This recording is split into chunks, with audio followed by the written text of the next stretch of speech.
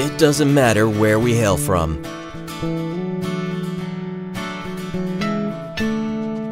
When our congregation gathers, visitors know this is Friartown.